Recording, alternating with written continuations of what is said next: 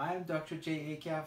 I'm a certified periodontist and I also specialize in dental implants. Today I'm going to talk about three-dimensional view of gum disease. When you go to your dentist or your periodontist, they tell you you have deep pockets around your teeth on the gum and we have to do deep cleanings and or osseous surgery or laser gum surgery to correct the condition.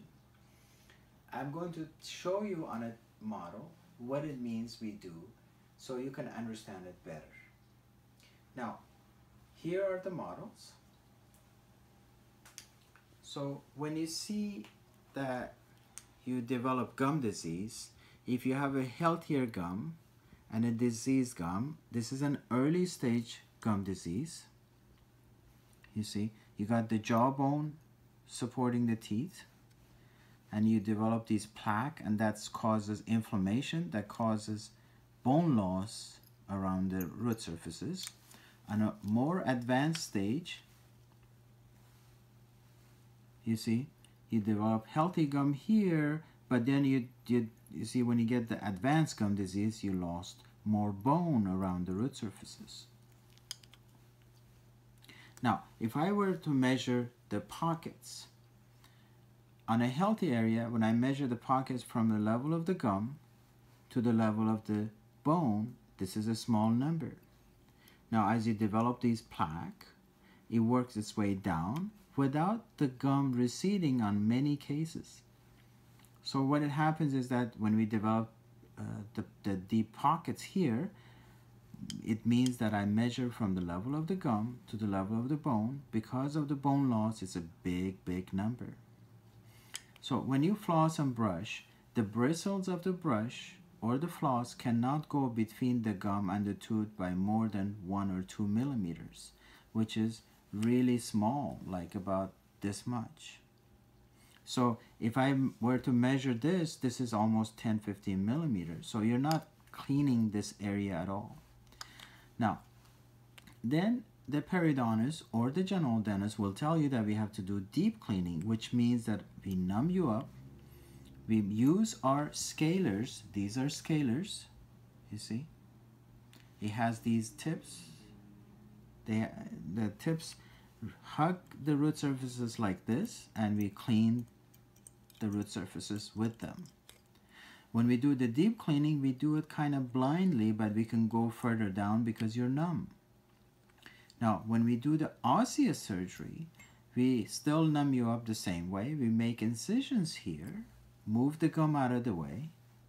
Then I can physically see the root surfaces, and then again use our scalers or uh, piezotome or cavitrons, which are high vibrating scalers, and we will clean the root surfaces.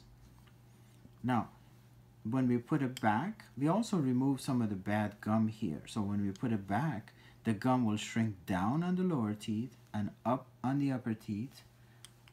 And therefore, you see more of the root surfaces to keep clean. You see, the purpose of the osseous surgery was for me as a periodontist to have access to, to see it, to clean it, and also give you access to maintain it clean. Now, this is called osseous surgery. However, at the time of the osseous surgery, sometimes what we can do, we can add bone here. So we do a bone graft to generate the bone if possible. Now we put a membrane on it too because those bone particles are small and they can get lost. Now, when we do the laser gum surgery, we do it uh, also we numb you up here. We put our instruments the scalers in there and kind of blindly still clean it.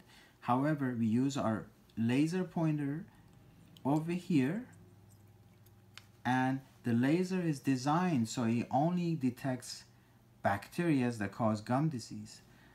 Those bacteria are black and brown pigmented and the wavelength of the laser is set so that it only kills that and not the good tissue surfaces.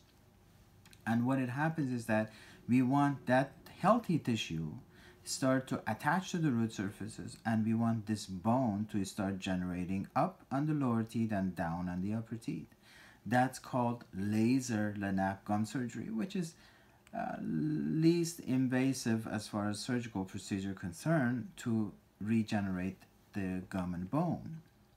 So we went over three different state uh, way of treating gum disease: the deep cleaning, the gum surgery, which means opening the gum, and the laser gum surgery, which is not opening the gum and still going deep in there.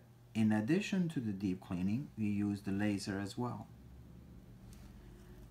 Now, if you have uh, any questions about gum disease, implants, and so on, you can contact me at uh, san diego dental and I'll be happy to answer them for you. Thank you for listening and watching.